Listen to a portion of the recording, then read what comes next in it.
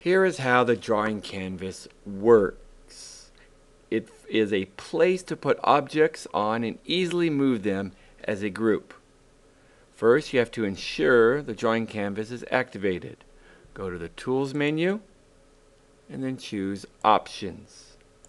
Select the General tab and then right down here, automatically create drawing canvas. Okay. Make sure that is checked. Click OK. Now we're ready to go. I'll bring up my drawing toolbar. Now I'm going to put in an auto shape.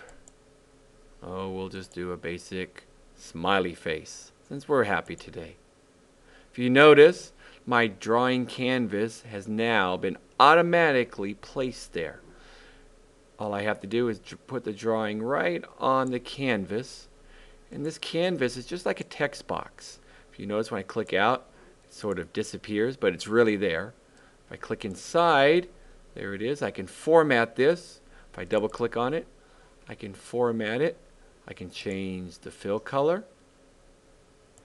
Maybe change the color of the line. Click OK I may also, if I right click on it and choose formatting drawing canvas, which is the same thing as double clicking on the edge, I can choose layout in front of text, click OK, and now it's movable however I desire. Show you a little better view of that. I can move it around. If I decide to put another object on here,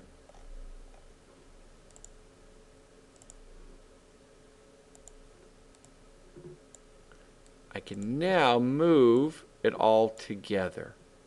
If I wish to enter a drawing canvas manually, I choose Insert, Picture, and then New Drawing. And there's my canvas. Again, it's not movable until I choose to do so, and it works just the same way except I entered it manually instead of automatically.